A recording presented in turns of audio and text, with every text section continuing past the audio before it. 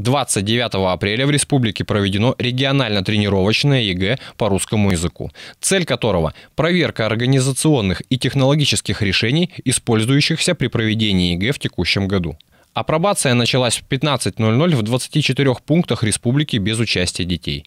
К участию в тренировочном мероприятии были привлечены руководители пунктов приема экзаменов, члены Государственной экзаменационной комиссии, технические специалисты, аудиторные и внеаудиторные организаторы из всех муниципальных образований республики для качественной подготовки лиц, привлекаемых к проведению ЕГЭ. В рамках тренировки были отработаны все этапы по применению новых технологий, а именно доставки контрольно-измерительных измерительных материалов по сети интернет, печати и сканирование экзаменационных материалов в аудиториях пунктов. Ход проведения тренировочного ЕГЭ контролировал федеральный эксперт. Полученные в ходе апробации навыки будут отработаны на следующих федеральных тренировочных мероприятиях 15 и 16 мая.